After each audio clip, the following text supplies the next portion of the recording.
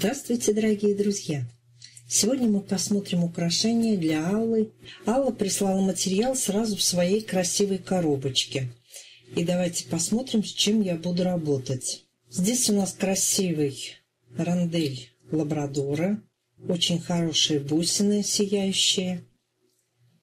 На видео не очень видно, но на самом деле они очень красиво сверкают.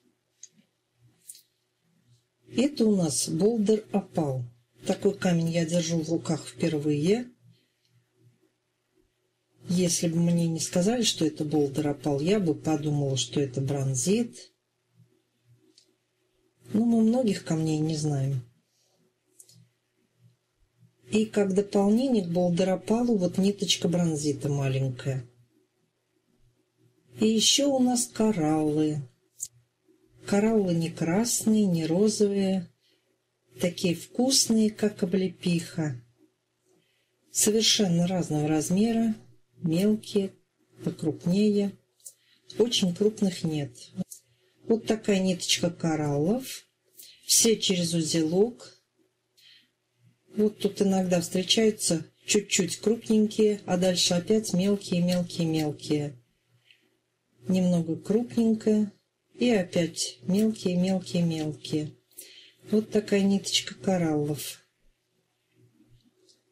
Вот это, пожалуй, самый крупный. Или один из крупных, которые здесь встречаются. Алла уже начала немножко обрезать эти узелочки. Наверное, терпения не хватило или времени. Предоставила это дело мне. Ну вот здесь встречаются э, бусины с черными включениями. Алла категорически заявила, что их нужно выкинуть. Таких бусин, чтобы в украшении не было. Ну, посмотрим, что мы будем делать из этих кораллов. Прям вкусная облепиха-облепиха. Вот такой материал поступил в заказ. А дальше мы уже будем смотреть, что из этого получится. Алла из тех клиентов, которые любят минимализм. То есть ниточку 45-50 сантиметров и очень-очень простую. Смотрим. Это у нас лабрадор. Красивый, светящийся. На что внимание обращала Алла? На замочки. Не любит тоглы, не любит магнитные. В итоге мы сошлись на серебряном. Вот такой вот красивый замочек у меня нашелся серебряный. К таким прекрасным лабрадорам замечательное дополнение. И давайте посмотрим, что я здесь добавила. Добавила вот три шарика не очень крупных, потому что крупные бусины не любит Алла. И добавила серебристый гематит. Здесь он только добавляет игру света в лабрадорах Иризация замечательная в лабрадорах. Смотрится эта ниточка очень богато, очень достойно. Следующая ниточка это болдер опал. Вот давайте вам покажу первый вариант, который я сделала для Аллы из ее бусин опала. Так, здесь добавлены дымчатый кварц рандель и гематит рандель. Почему-то Алла сомневается в этом варианте. Будем смотреть еще, что можно сделать.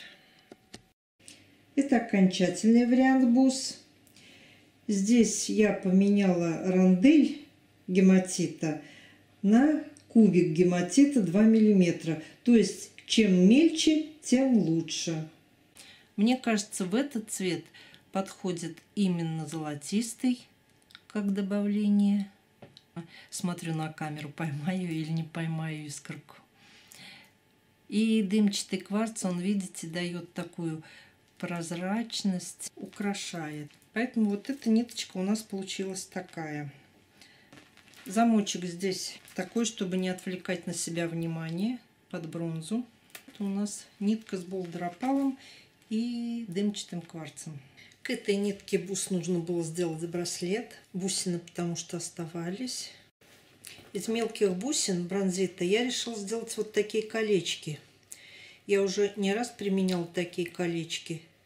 В этом случае Алла не захотела такой дизайн. Она сказала, ей нужно простой, как бусы. Здесь получится вот двойная такая ниточка, вот таких обычных бус.